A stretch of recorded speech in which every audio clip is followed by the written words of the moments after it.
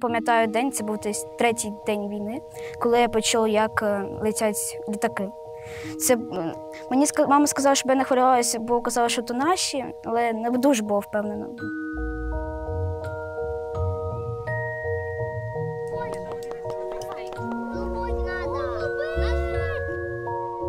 Я хвилювалася, що може попасти ракета в мій дім, що я можу просто померти, бо я розуміла, що багато дітей, таких як я, помирають.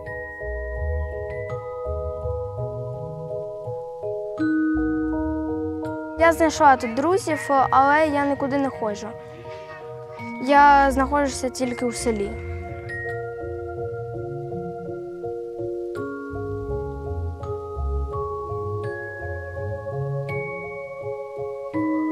Без допомоги дорослого, який би точно там сказав, що ти можеш там відволіктися і дозволяти собі радіти. Дітки замикаються в собі.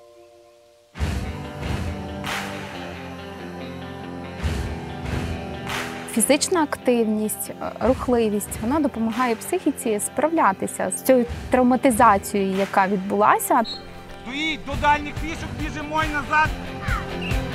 Є кожний Було прикольно, що ми тренували там паси, на скакалці пригали, командна робота якась була. життя триває і треба дозволяти собі жити.